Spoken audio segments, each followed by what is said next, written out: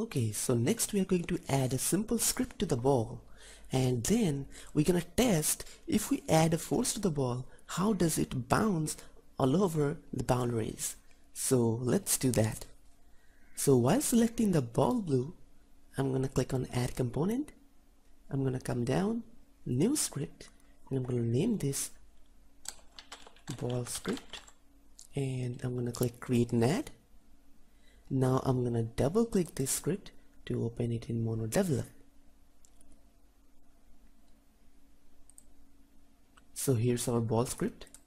So what I'm gonna do is first of all oops first of all the same way as I have done in paddle script I will first of all get access to this rigid body 2D and then I'm gonna add a force to that rigid body 2D okay?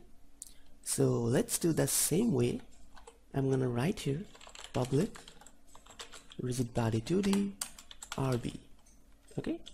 So the same way it will create oops I have actually dragged it in the hierarchy and made it styled but it will not be there so let's drag it out and keep it here.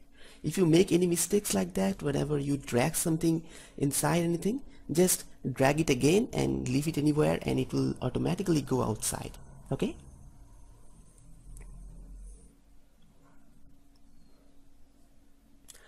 Okay, so now as you can see in the ball script we have another empty slot which says RB which is our rigid body. So now the same way we need to drag our rigid body to this position. Since we want to access the rigid body 2D attached to this blue ball, so we're gonna drag this blue ball and drop it right there. As you can see now it has been uh, showing, it is showing that ball blue rigid body, okay? So now we have access to that rigid body and we can do anything we want with that rigid body. So what we want is at the start, let's do rb dot add force and it's a vector 2 so we have to create a new vector 2 inside that and for the x component I'm gonna give let's say okay first of all let's say we need to create a simple variable that you can control public float um, ball force. So this is the force by which we want to force the ball. We want to add a force to the ball okay?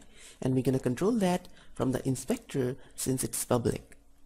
So for the x component we're going to give ball force. And for the y component also we're going to give ball force. Okay? So we're going to add a force to the ball in the x component to the amount of ball force and in the y component also to the amount of ball force. So let's drag it and keep it right there. And for the ball force let's choose 50 and let's see how it works. And before that before doing anything make sure to choose the ball blue and make its gravity scale 0 because we don't want it to be affected by gravity anymore. Because now we will give it a force and automatically because of that force it will bounce from wall to wall. So now let's play and test it.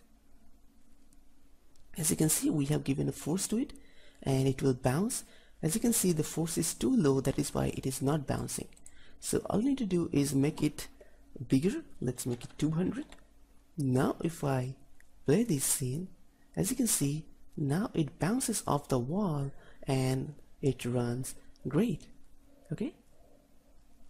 So this is all we wanted to achieve and we have done that. Okay? So one more thing you can do is you can select all of the squads and as you can see we have previously got our bouncy physics 2D material and we can drag and drop it on our box collider 2D's material slot. So now the bouncy property is also attached to all these boundaries along with the balls. So ball will get bounced whenever it collides with them with great potential. Okay.